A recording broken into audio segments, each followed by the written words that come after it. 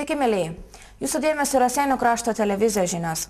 Ir dabar trumpai kokius reportažus mes jums paruošėme šiam kartui. Šią savaitę paminėta Tarptautinė veterinarijos diena. Rajono viešos bibliotekos knygos muziejuje atidaryta ekspozicija apie 1863 metų sukilimą. Raseinių rajono savanorių draugijos nariai diskutavo apie pasiruošimą savanorystėj. Nuo 2000 metų balandžio 30 yra paskelbta Tarptautinė veterinarijos diena, kuri šią savaitę buvo paminėta ir Raseinių krašte. Raseinių maisto ir veterinarijos tarnybos kemelėje rinkosi ilgamečiai buvę ir esami tarnybos darbuotojai. Taip pat garbus svečiai. Tai valstybinės maisto ir veterinarijos tarnybos direktorius dr. Jonas Milius, pasaulinės gyvūnų sveikatos organizacijos veterinarijos teisės ekspertas profesorius Kazimiras Lukauskas. Šventė prasidėjo iškilmingų koplystulpio atidengimu, skirtų pagerbti veterinarijos gydytojo specialybę. Šio simbolio autorius gerai pažįstamas rasiniškiams, tai Raseinių meno draugijos Pegasas narys Ričardas Ramonauskas. Čia ta mintis kilo gan labai seniai ir e, čia kadaise buvo sodas. Ir e, mes visi bėgdavom pasirinktų bulių rudenį. Ir būdavo gan skanus obuliai bet jis su laiku peraugo, vėjas išlaužė šakas, įteko jį išpjauti. Tai vienas pasakė, viršininkas išpjovė sodą, o kas dabar bus?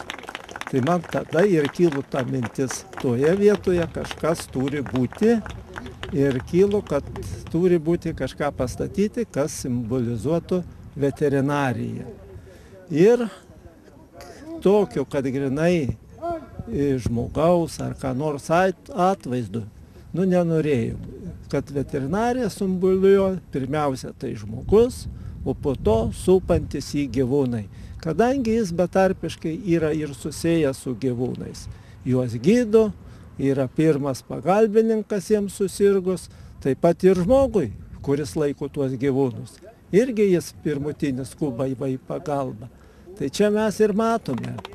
Ir tokį žiniuonį, kuris žino apie visas gyvulių lygas, nu ir visus e, va gyvūnėlius, kurie, e, su kuriais mes esame susiri, susiryšę, kuriem pastoviai teikiame pagalbą, bėdos atveju arba gelbstim nelaimės atveju. Tai va čia visi mūsų pacientai e, tame medžio vadružinėje atsispindi.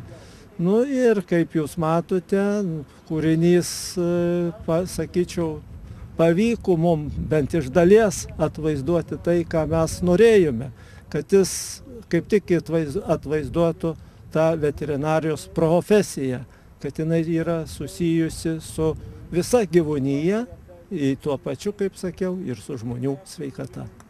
O viršinga tarptautinė veterinarijos diena, kaip, kaip minite, ar keičiasi šventės pobūdis kasmet, jeigu taip, tai kaip?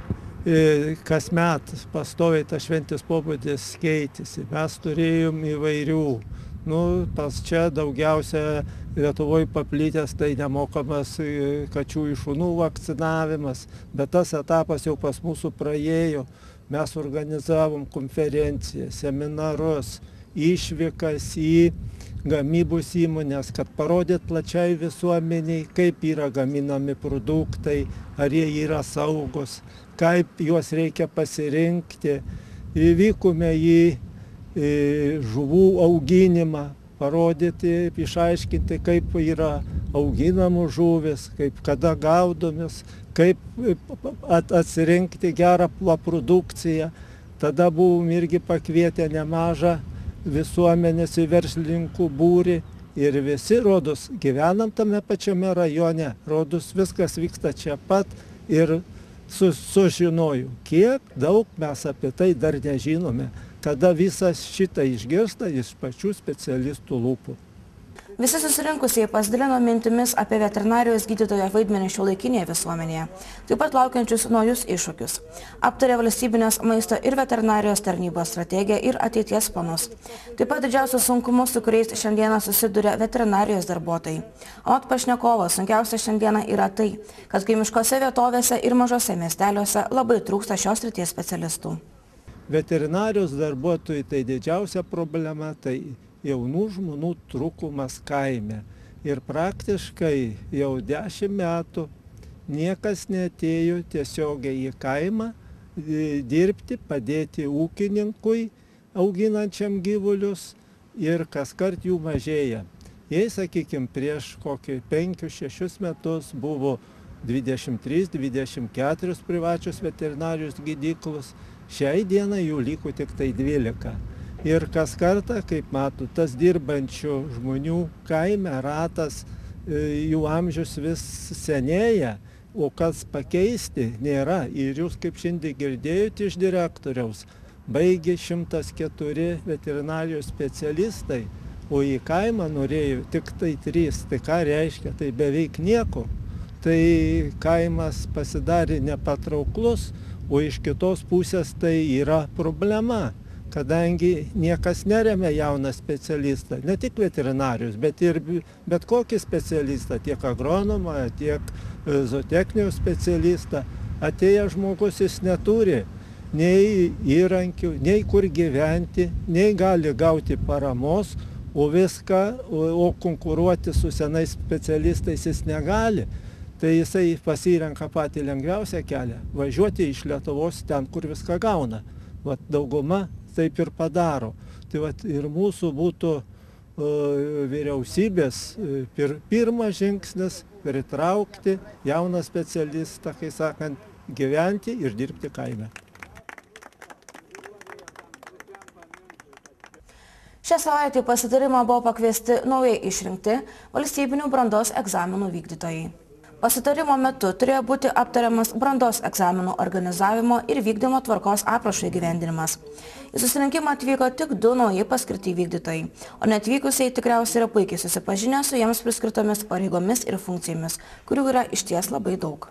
Taip visai teisingai pasakėte, šiandien naujiems, naujai paskirtiems brandos, valstybinių brandos egzaminų vykdytojams pasitarimas. E, nieko naujo iš esmės su jais e, neturime aptarti, lyginant tai, ką žino kiti vykdytojai, bet kadangi jie bus nauji, tai jiems gali būti viskas nauja.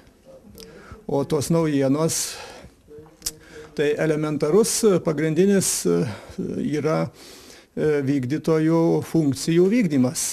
Egzaminų tvarkoj, tvarkos aprašė yra numatyta kokias funkcijas vykdytojas turi e, atlikti. E, yra, dabar gerai iš atminties nepamenu, bent apie 30-40 punktų ir, ir, ir juos visus turi tiksliai e, įvykdyti, įgyvendinti.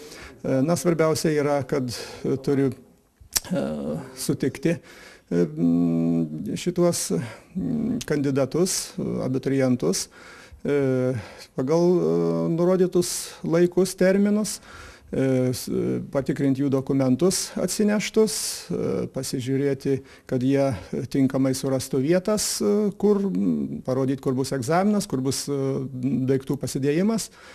Ir paskui, jau kai prasideda išdalinta medžiaga, yra, prasideda egzaminas, tai yra viso egzamino metu stebėjimas tam tikros grupelės. Kiekvienoje grupelėje yra iki 14 kandidatų vienoje eilėje ir kiekvienas turi užduoti žiūrėti, kad jiems, tiems kandidatams nieko netrūktų egzamino metu, kad niekas netrukdytų, kad jeigu pritrūksta ko nors ar, ar, ar sakykime, baigėsi rašymo priemonė arba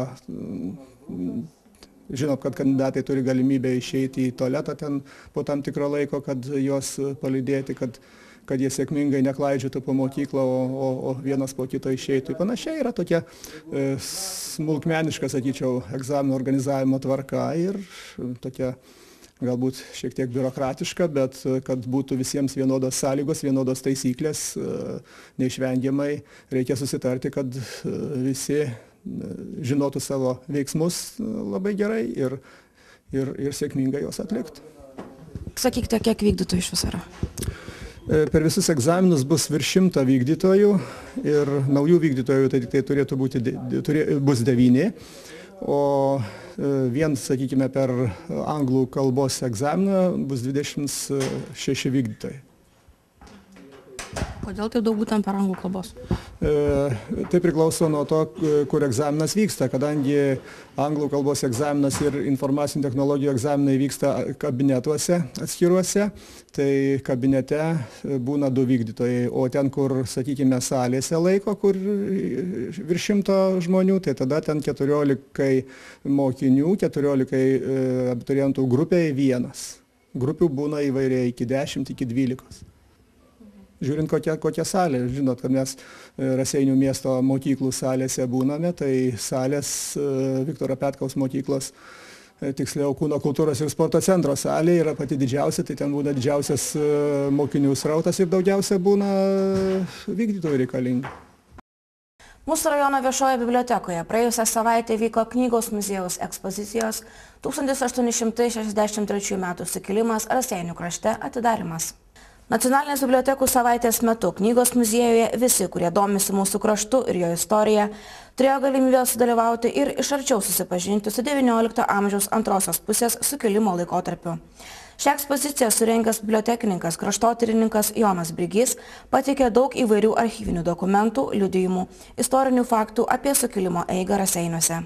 Šie metai tokie derlingi jubiliejų sukakčių, kaip niekada daugelį visokių, ten ir Darius, ir Gerino, ir, ir taip toliau, ir taip toliau. Tarp jų yra ir 1863 metų sukilimas. Na ir kai praeitais metais darėm parodą skirtą Maironiui, tai va toks kilo tesinys mintis, kad pratesti tą irgi taip istorinę tematiką. E, mūsų muziejus yra knygos muziejus, tai reikėtų viską parodyti per knygą. Kitas dalykas, kad tų knygų nėra tiek daugel, kurias galima būtų ypač tą laikmetį skleisti. Nu, tai irgi va, pasitelkėm ir archyvinius dokumentus.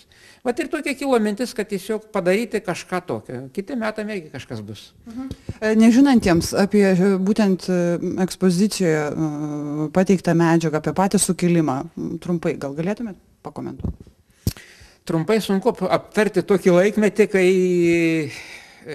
pagalvojus taip, XIX amžius buvo gana ramus Lietuvai. Buvo tik tai 812 metai, kai praėjo Napoleono armija, 31 metų sukilimas ir 63 metų sukilimas. Ir daugiau šimtą metų buvo, šimtą, praktiškai 120 metų buvo tylu ramu. Tai aišku, kad XIX amžiui tas sukilimas jis buvo tikrai neįlinis. Kitas dalykas, kad raseiniuose, raseinių krašte jis pasireiškia galbūt mažiau nes didieji mūšiai vyko kažkur prie Žaiginio, prie Šiluvos, kitose vietose, o pačius, pavyzdžiui, tiesiogiai su Rasenės buvo galbūt dramatiškiausias įvykis, kai buvo Žemaičio aikštėje pakartas sukėlis e, Žitskis. Tai va Raseinių krašte va toks dalykas, tai tokia jau vienintelė vieta, Raseiniuose tai būtų pati tuo metu buvusi Turgaus aikštė. O šiaip tai aišku, buvo ir garsių sukilėlių, ir aplinkiniai mūšiai vyko, bet tai buvo kažkur tai buvo toliau nuo Raseinių. Priešingai nebuvo, nei buvo 1831 metais, kai sukilėliai buvo užėmę miestą, čia buvo įsitvirtinę, vyko mūšiai ir netgi tuo metinė rusų kariuomenė turėjo bėgti iš to Raseinių. O tada buvo triukšmingiau. Kalbant apie visą, sakykime, 13 nacionalinę bibliotekų savaitę, tarsi apibendrinant, jūsų nuomonė, kiek jinai pasiekia tą savo tikslą, kad bibliotekininkus įpareigoja labai pasitemti ir sparčiai dirbti ir daug planuoti tuo laikotarpiu, tai faktas. Visuomeniai, skaitytojams, jinai, jinai yra aktuali, jinai yra reikalinga. Tikimės, kad taip. Aišku, nieks nepasako, vad pagaliau atradau biblioteką. Čia yra kitas dalykas, kad žmogus, vat, galbūt tokia toj savaitėje renginių gausa Ji tikrai primena papildomai dar sėkiai apie biblioteką.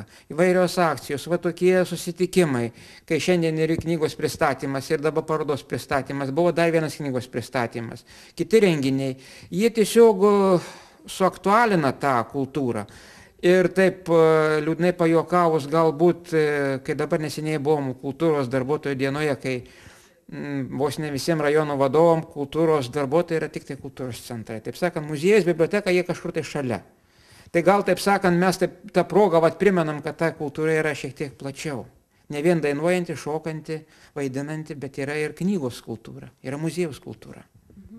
O kalbant apie pačius lankytojus, ar daug raseiniuose bibliotekoje yra lankytojų? kaip čia pasakius, skūstis negalim ir nenorim, bet yra tokia tendencija, kad mažėja raseinių gyventojų, mažėja Lietuvos gyventojų, tai didelio padaugėjimo mes tiesiog negalim ir tikėtis.